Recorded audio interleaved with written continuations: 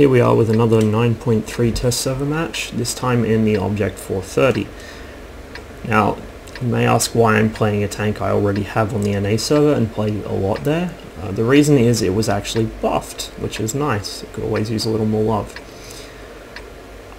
If I was a smart man, I would have written down a list of the changes and be reading off it right now, but unfortunately I am not a smart man, so I can't honestly remember what the full list of, of changes was. Um, but I believe their effect was basically to give it slightly, very, very slightly better gun handling on the move. It's still quite a lot worse than the T62 and Object 140 as you can plainly see. Uh, the other change was actually to give it higher DPM than either of those. So this is actually now the highest DPM Soviet medium at 3000 damage per minute compared to 2909 for both the 140 and the T62. Both have identical DPM. The armor hasn't been changed. Uh, the mobility I think may have been very very very slightly tweaked but generally it drives the same way it used to the intention at Wargaming was to make this into your sort of shock breakthrough medium tank, which is essentially what it already was. Um, it's just slightly better at it now because of the higher DPM. I was hoping for an HD model too, but unfortunately no. it's uh, not getting one this patch. Maybe next time.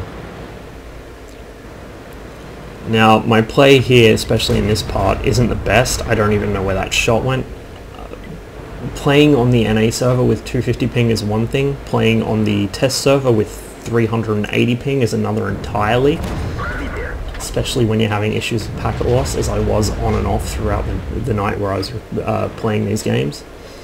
And so you're going to see a lot of sloppy play, a lot of missed shots that shouldn't have missed, so on and so forth. It, honestly, you're going to have to put up with it because I do as well.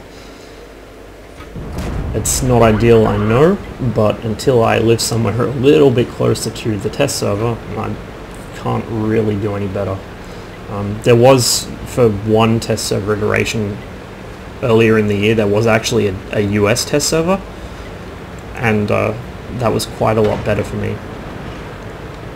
But I don't think they plan on doing that again anytime soon.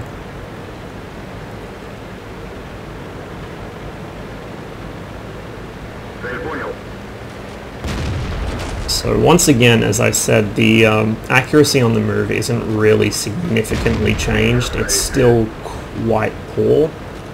I say quite poor, I mean I'm comparing to the other two Soviet Tier 10 mediums, which are the best on-the-move shooting tanks in the game, basically. So, I mean, that's not really a fair comparison. It's still about the same level as the T-54. So, compared to most other countries, uh, Tier 10 mediums, it's not bad but it's certainly not an on-the-move sniper like the T62 and 140R. But once again, the intention of Wargaming is for this to be sort of your, your shock breakthrough tank, and so most of your shooting is supposed to be done at close to medium range, where the accuracy isn't really a problem.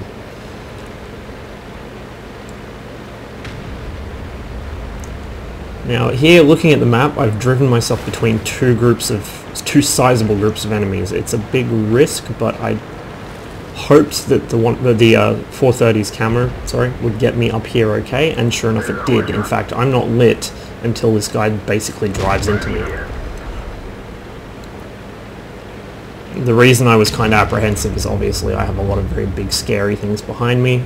Uh, thankfully I was on the edge of their render range. Now, another change that's actually worth noting in 9.3 is ammo racks no longer blow turrets off all the time. They still do it, but not 100% of the time. What happened is Wargaming changed a lot of the effects, so now different causes of death will cause different explosions, different fires, so on. And here you can see a big fuck up I'm about to do. Or there's a Waffenträger there. This is where my own sense of object permanence is about on, on par with the pubbies. I forgot he was there. Well, not so much forgot he was there as I didn't realise he was pushed up so far.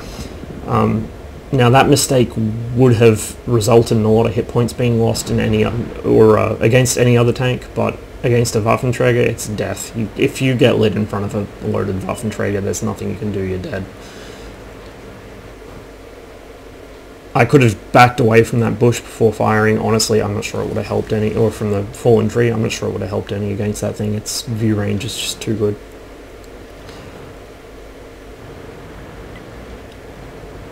Actually, uh, I may, during this test iteration, play a couple more matches in the Waffenträger and see if I can get a video up just to show it hasn't, the nerf, so-called nerf, hasn't affected it at all. It's still overpowered as shit. It's just got one less shot to people with. And here R121 is actually carrying the game for us. So there you go. Turrets can still fly off, and for some reason that one made a splashing sound as it did so.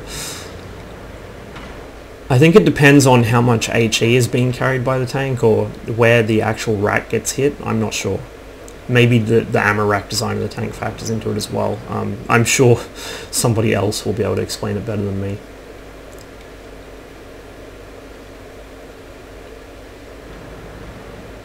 R121 playing pretty smartly, uses a wreck as cover so he can't be reset by lucky shots or by guys driving in like this. IS-7 shoots and hits the track of the wreck in front of him.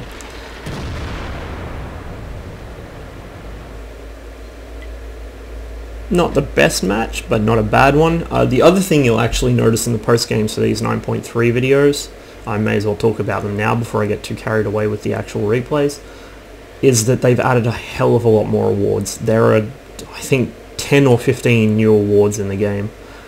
Uh, there's one, a very good award, Fire for Effect. Uh, essentially, if you do more than your tank's own hit points in damage, you get that award. So if you know what you're doing, you should be getting one of them nearly every match. There's various achievements for setting tanks on fire so many times, uh, ammo racking them so many times, the little commemorative pin things, the diamond-shaped ones, there's a couple of those. There's a couple of actual ribbons for doing it over and over again. Uh, there's awards for doing a certain amount of crits in a game, awards for doing a certain amount of spotting in a game, and awards for tanking incoming damage. So IS-7, E100 and Maus players will be very happy with that, I think. Overall, um, I'm actually quite happy they're adding all these new awards. Some of them are kind of leaning towards being participation awards, but I mean, there's there's already so many of those, it doesn't really matter. But most of the new awards actually encourage the kind of behavior they should be encouraging, like putting out damage, uh, you know, trying to actually spot things and tanking damage rather than suiciding. The, the problem is I think most pubbies have no mental distinction between tanking damage and suiciding, so we're probably going to see a lot of heavy tanks just driving straight into the open. Uh, there's also an XP bonus now for tanking damage. Uh, it applies mostly to heavy tanks, it applies to a reduced degree, I think, to tank destroyers and mediums, and then it doesn't apply at all for artillery or light tanks. For obvious reasons, they should not be tanking damage. Anyway, thanks for watching, and of course there will be more 9.3 test games coming up soon, and then back to the regular queue. See you next time, and good luck in World of Tanks.